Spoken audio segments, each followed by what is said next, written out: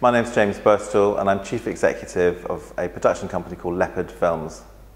Well, we felt it was very important for us as a business in the, working in the ent entertainment industry to really make an effort to become more sustainable.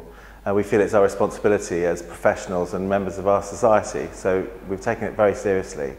Well, at Leopard Films, we're doing a lot to try and address um, how green or not green we are because we're trying to make the business more sustainable. We're doing lots of things from the very small to the much bigger. And at the small end of the scale, we're doing things like all our products, cleaning, toilet products, they're all green. We recycle all our paper. We double-sided print everything that we uh, put onto paper.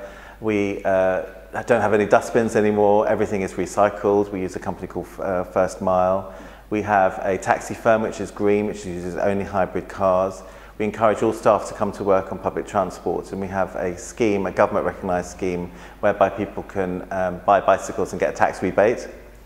We uh, have deliberately moved into premises both in London and New York, which are standalone buildings, so we can control the electricity, the air conditioning, make sure everything's switched off at the end of the night, We reduce our transportation between London and New York by giving Skype to all our senior staff so that most of our conversations between the two offices take place in the ether rather than on aeroplanes. Uh, so really across the board we've done a lot, but there's a lot more to do. The first thing we decided to do was that we were going to do a standard called the Green Mark, which is actually quite an achievable standard that businesses can pursue, although it's quite demanding. Uh, the Green Mark uh, was set up by the Metropolitan University in London and is uh, a system which, first of all, uh, comes in and does a total audit of the business. Uh, and they came in and they looked at how do we how do we recycle, what kind of paper do we use, are people coming to work on bicycles or in taxis, um, are, what do we do with our light bulbs, um, what do we do with our waste, uh, do we use aeroplanes, and so on.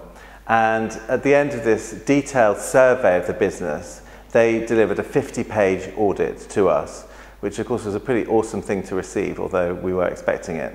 Uh, I think the entertainment business spends an awful lot of money and wastes an awful lot of energy and you know we are um, you know wasteful I think in a lot of the things we do so whilst we need to keep the standards up and we are competing with the best people in the industry we also have to try as a community and find ways of doing things that are greener and more sustainable.